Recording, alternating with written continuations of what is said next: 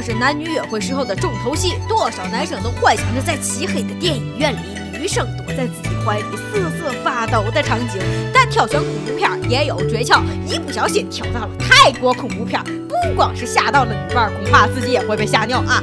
作为恐怖界的翘楚，泰国恐怖片一直是神一样的存在，令人闻风丧胆的镜头，全程高能的鬼附身，都成为了泰式恐怖片的标志性元素，并因此直接导致观众讲起对泰国的特产除了人妖，那就是恐怖片了。今天介绍的这部满满正能量的恐怖片《鬼影》，据说是泰国十大恐怖片中排行第二的片子。自然更是不容小觑。故事从男主角跟基友们喝醉酒，于是让女朋友做了一回代驾开始。坐在副驾驶的男主一秒开启痴汉模式，疯狂调戏女朋友。于是女司机秒变马路杀手，真是喜闻乐见。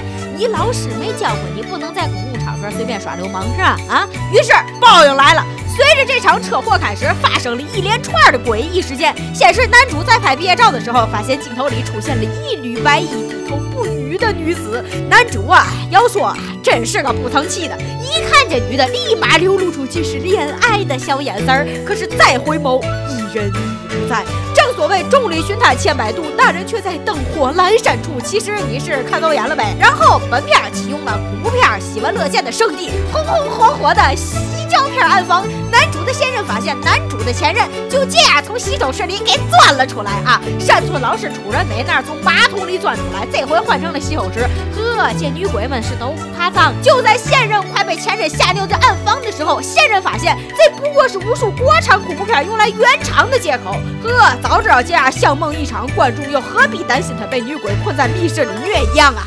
现任怀疑前任就是他撞的那个白衣女子，于是开始求爷爷告奶奶烧纸还愿啊，不烧纸告被女鬼。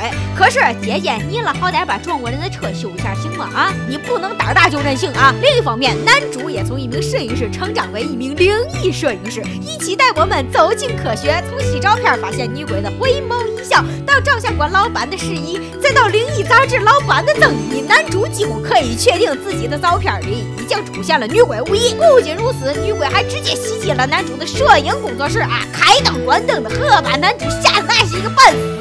更令人匪夷所思的是啊，男主的脖子疼到炸裂了，并且称体重的时候，把我们天真无邪的护士姐姐都惊呆了。呵，竟然有一百多公斤！大哥，你了这身板可够藏肉的呀！要不能说胖子有一颗纤细的内心呢？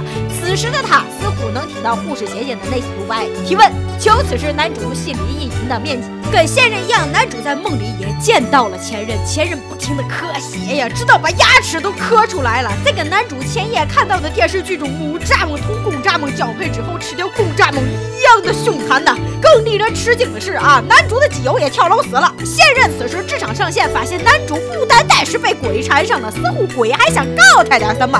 于是通过拍立得，在前任的指引下，发现男友跟前任不为人知的过往。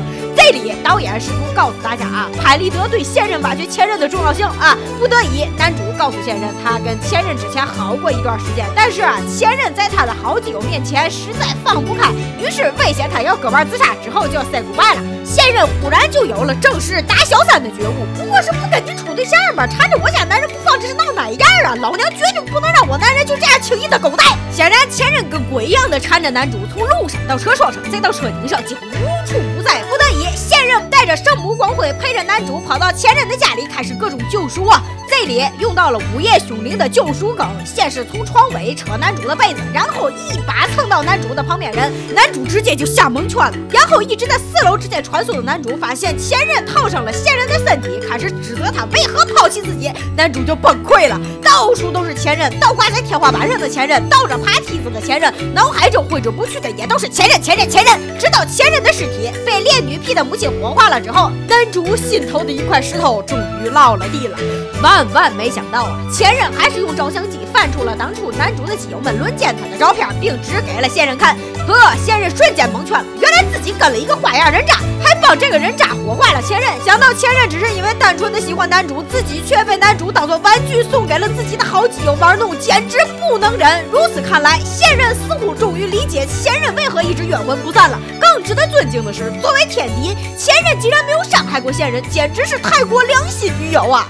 自己造的孽，含着泪也要赎完。被吓尿的男主开始用拍立得满屋子拍前任到底在哪里，结果是到处不见踪影。气急败坏的他甩手扔掉了拍立得，啪嗒一声，拍立得捕捉到了他肩膀上骑着的正是前任，这绝壁是真爱了。难怪之前脖子痛成狗，却查不出来什么原因，称体重还一百二十公斤，就连小和尚看自己都是一脸的惊恐啊！原来死去的前任一直骑在自己的肩头做妈妈呀！男主崩溃了。都说恋爱中的人智商为零，这一段生死决恋让男主的视力也变成了零，于是他从楼上摔了下去。在这里不得不感叹啊，主角光环的强大，跳楼两次的男主都没有被摔死，而是继续和前任进行人鬼情未了的故事。看完了这个电影，我也不自觉的摸了摸有点酸疼的这个颈椎，幸亏我不是渣男，贴块狗皮膏药就行了啊！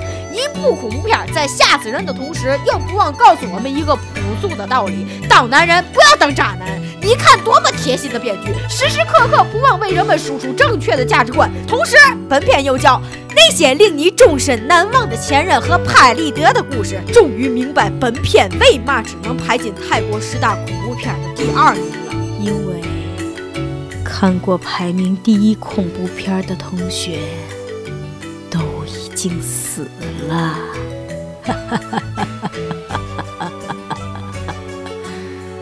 好了，本期节目就是这样，接下来是我们的为网友送欢乐、为粉丝谋福利的视频互动送礼品环节。上期我们的问题是啊，说说你听过的最失败的装逼案例是什么？第一个中奖的小伙伴是微信叫许蜜蜂的，他说他考驾照时候那个教官装逼。玩漂移，呵，结果撞墙上了。俗话说得好啊，老马也会使前蹄。驾校教练一不小心玩脱了啊，那也是有可能的。只不过一般人玩坏了也就丢个面子，哈，这可是有生命危险的。第二个中奖的小伙伴是名叫板蓝根的，他说他小学时候啊，宝宝长得挺高的，篮球打得不错。我们女队比赛，我看他没投球半天也投不进去，特别拽呀，伙伴说：“嘿，你歇会儿看我的。”哟呵，话还没说完呢，男队那篮球就朝着我就飞过来了，宝宝瞬间就被砸得眼冒金星，血横流啊！被小伙伴们搀扶着去了医务室，再也不耐篮球了。姑娘，你了可长点心吧，你这身高是上去了，智商可没赶上趟啊！哪个球类运动员没要求用脸接球啊？好了，恭喜上两位朋友，请中奖的小伙伴发送的地址加电话再加真实姓名到四文。的公众微信号上，我们将在核对信息之后，为本次中奖的小伙伴寄出精美大礼一份。那这次我们的互动话题是啊，光棍节就要来了，大家都有什么虐单身狗的高招？过来分享一下呗！参与互动的小伙伴，直接把你的回答发送到斯文皮子的公众微信号上。我们下期节目见，拜拜。